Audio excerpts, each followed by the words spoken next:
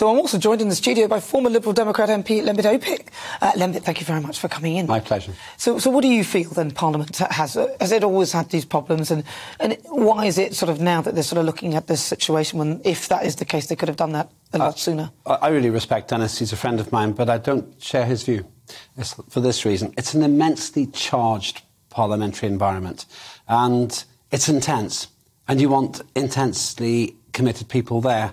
With that comes a degree of colour. With that degree comes a degree sometimes of flirtation, which is often, and I would say usually mutual on both sides, mm. uh, between politicians, as we well know if you read Edwina Currie's uh, biography, uh, and also sometimes between politicians and staff.